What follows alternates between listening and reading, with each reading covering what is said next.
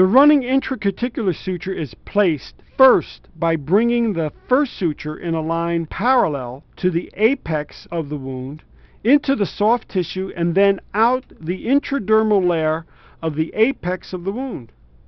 The first throw is placed entirely in the intradermal layer of the skin just beyond the apex of the wound.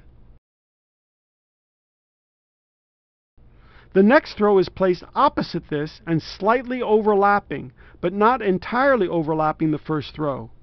Subsequent throws are placed back and forth across the wound.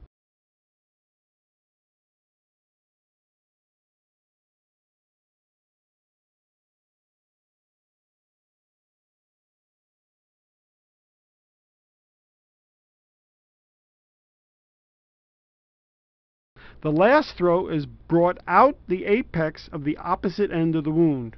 The wound is further closed with steri-strip taping. The free edges of the intradermal closure are taped down snugly. Steri-strips are placed across the wound to prevent further tension on this closure during healing.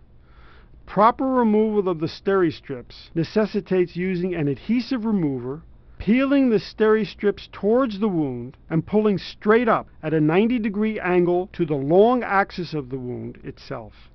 With the intradermal intracuticular closure, the tape over the ends of the suture are then removed and the suture removed with a gentle, constant pull on one end.